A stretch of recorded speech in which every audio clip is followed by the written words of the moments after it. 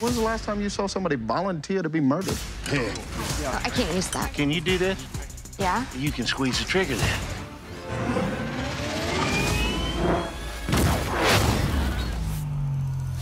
Something's gonna happen. It needs to happen now. Honey, that's poison! I'm the one fighting. Not you, not you, and not you. I'm sure you know that every last one of our slayers is a bona fide death row inmate.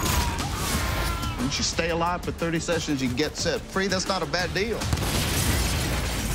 Are you aware there's an active group of people out there who believe that you're hunting human beings for sport? What people believe I'm hunting human beings. Ever wonder at what point you gotta stop living up here, start living down here? You're gonna be great. I got a feeling about you. This is my younger brother. I taught him everything he knows. You know, he's a heavy hitter. He's got thunderous left punch. No crazy time nonsense. I'm Stu. How do you do? I'm LAPD. Let's go. You shoot it and blow up their car!